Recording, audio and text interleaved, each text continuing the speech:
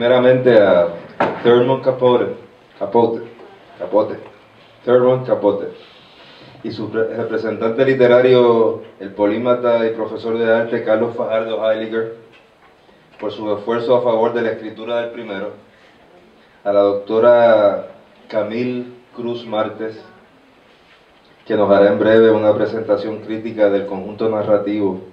Y fue además coordinadora y gestora de este evento y es la principal responsable de su éxito. Al colectivo Huella Digital y a su directora, la profesora Norma Ortiz del Departamento de Administración de Empresas y a nuestra maestra de ceremonia, Xiomara Torres, al Departamento de Estudios Hispanos, a su decano, el doctor Juan López Garriga, y a su asociación de estudiantes subgraduados por tan generosamente auspiciar esta presentación y a ustedes todos por su asistencia y apoyo. También quiero enfatizar el agradecimiento a Neisa Rodríguez que vino desde San Juan para leerles y al, poeta Enrique Puig que también vino. Está trabajando aquí en la plaza pero va, a leernos de su, de su, poemario.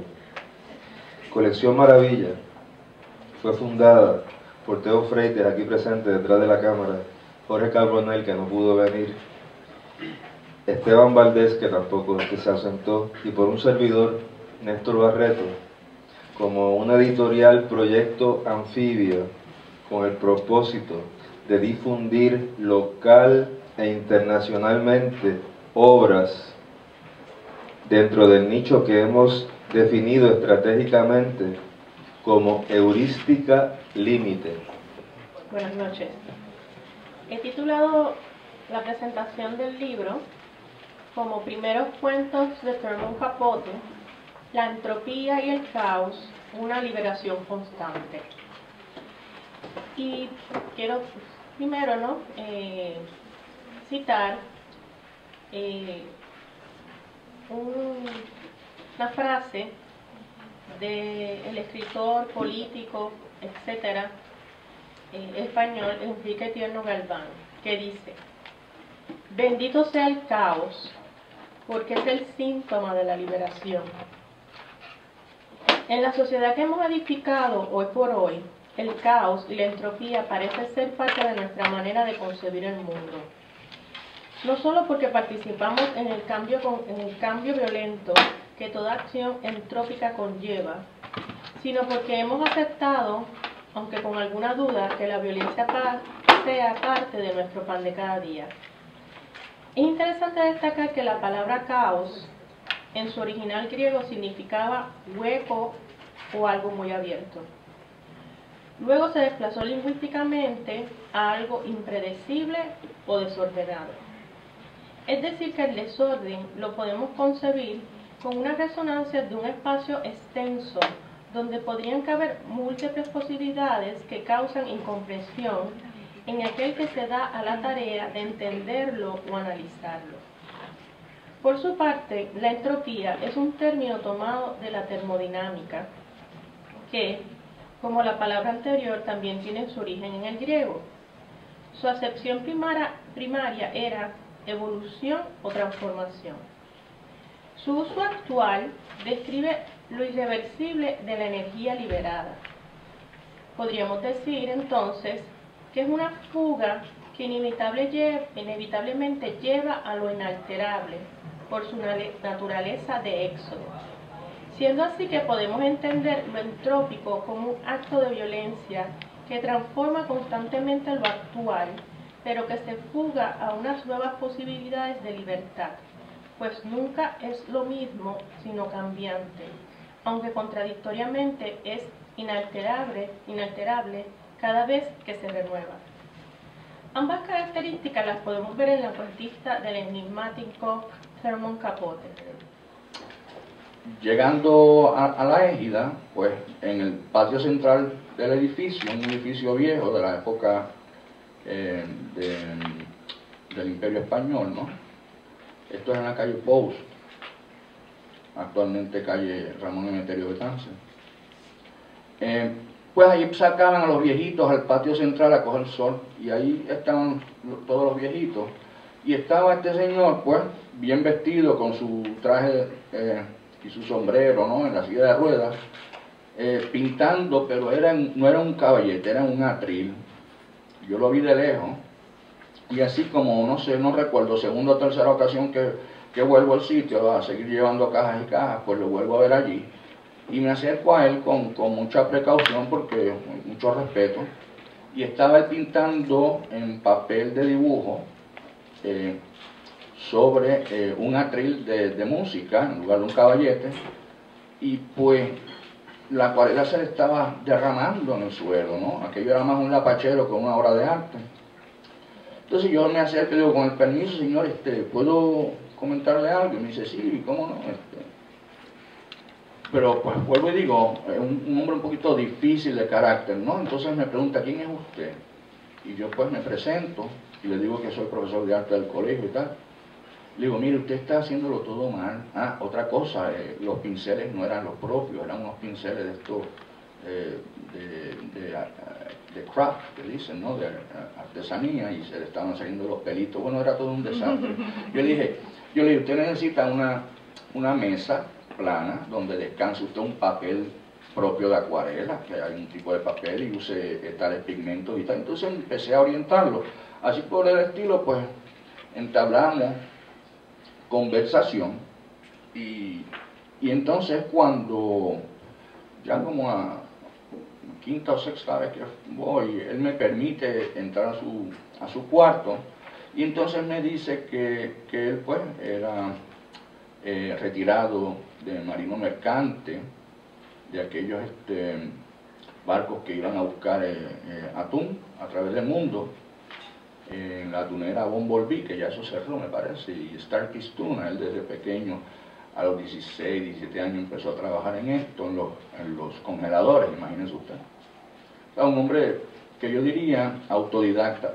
Su obra yo la puedo, ya que la doctora Cruz estaba describiendo desde el punto de vista eh, literario, pues como artista plástico yo diría que está entre lo que se llama dadaísmo y, art brut, que son más bien artistas eh, autodidactas, ¿no? que no han tomado primitivistas, hasta primitivistas en cierta manera, no han tomado clases académicamente.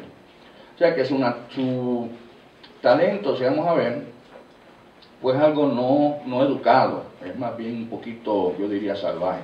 Y de antemano quiero de, eh, anticiparles de que no se asusten con lo que ahorita voy a leer porque es un poquito irreverente, ¿no? digo esto porque pues, los pueblos de nuestra isla son un poquito conservadores y moralistas. Esto pues, como decía eh, Néstor, pues se sale bastante del denominador común de lo que supone ser literatura seria, etcétera, etcétera, ¿no?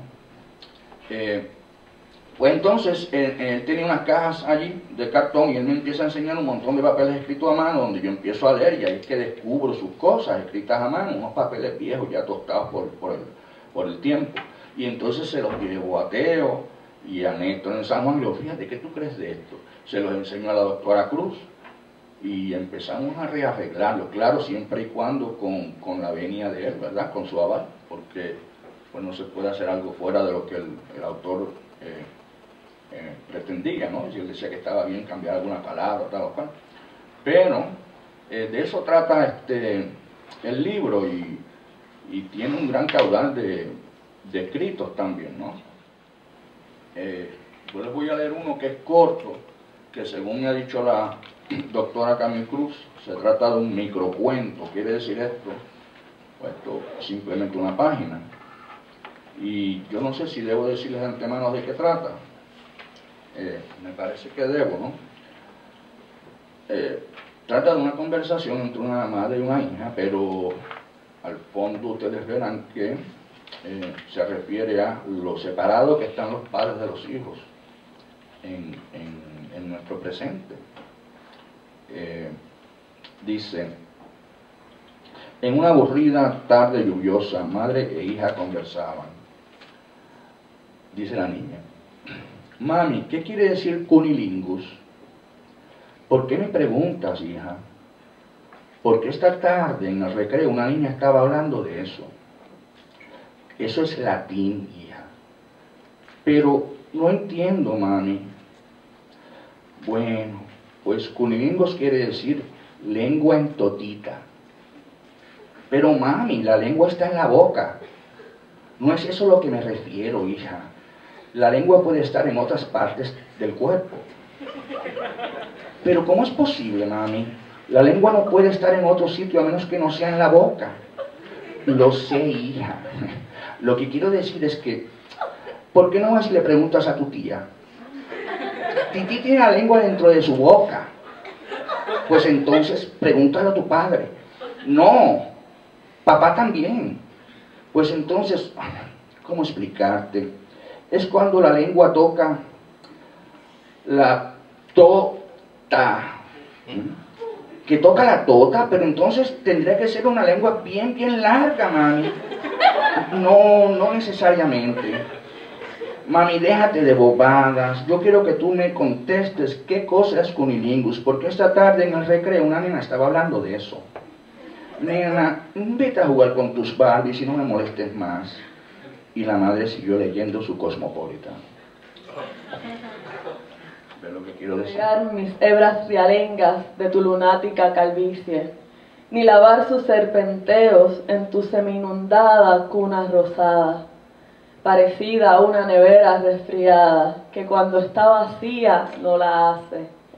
Aquí, en el desierto de cemento, acompañada de la calva soledad, empastillada para no sentir, ni llorar, ni matar, me identifico contigo, bañada de mugre y hambrienta, sin que nadie dé las gracias, como a ti, pequeño jabón. Gracias vidrios mojados. Vía Láctea. Asisto al carnaval y escucho la música de los vidrios mojados. Sus hombros salidos por un mojal, la viña y la noche beben un vía láctea al humo de hielo del bar. Algunas veces me pregunto si siempre la quería como hoy me lo pregunto. Algunas veces la quería como siempre. Algunas veces la quería algunas veces. Así que voy a, voy a citarle mi traducción del, preámbulo de la Constitución norteamericana para que vean la propuesta que ellos hacen. Esto es una propuesta de 1792 que yo creo de extremadamente avanzada. Este, plantea radicalmente el problema del Estado y dice así, nosotros o nosotras sostenemos que estas verdades son autoevidentes, que todas las personas, ellos dicen que todos los hombres, pero claro, eso era en 1792, y ellos decían que los hombres representaban a hombres y mujeres, pero nosotros sabemos que se estaban hablando de ello, cuando decían hombres libres, habían excluido a todos los hombres que tuvieran la piel oscura y las mujeres, pero esos son otros problemas que ellos confrontaron eh, eventualmente. En este momento no, no parecía. Decía, sostenemos que estas verdades son autoevidentes, que todas las personas son creadas iguales, que son dotadas por su creador, yo le pongo creadora, en caso de, de ciertos derechos inalienables, que entre estos derechos se hallan la vida, la libertad y la búsqueda de la felicidad que para asegurar estos derechos entre las personas se instituyen los gobiernos, que derivan sus poderes legítimos del consentimiento de los gobernados o de las gobernadas. Y cuando cualquiera forma de gobierno se vuelve destructora de esos fines, el derecho de la gente a alterarlo o abolirlo e instituir un nuevo gobierno, basando sus cimientos en los principios y organizando sus poderes de la forma que a ella les parezca más capaz de efectuar su seguridad y felicidad. De hecho, la prudencia dictará que gobiernos largo tiempo establecidos no deben ser cambiados por razones leves o transitorias. Y aunque por un lado toda la experiencia ha demostrado que la humanidad está más dispuesta a sufrir mientras los males sean sufribles que a corregirlos ellos mismos, aboliendo las formas a las que se ha acostumbrado, también lo es que cuando una larga secuencia de abusos y usurpaciones, buscando invariablemente un mismo objeto, evidencia un diseño de reducirla al despotismo absoluto, es su derecho, es su deber derrocar dicho gobierno y proveer nuevas salvaguardas para su seguridad futura. El preámbulo de 1797 de la Constitución norteamericana. Como estábamos en, discutiendo la posibilidad de una convención constituyente donde nosotros, en algún momento nosotros vamos a tener que decir nosotros, el pueblo de Puerto Rico, pues, cuando nosotros digamos nosotros, el pueblo de Puerto Rico, ¿a quién nos vamos a referir? Y, y esas son mis reflexiones.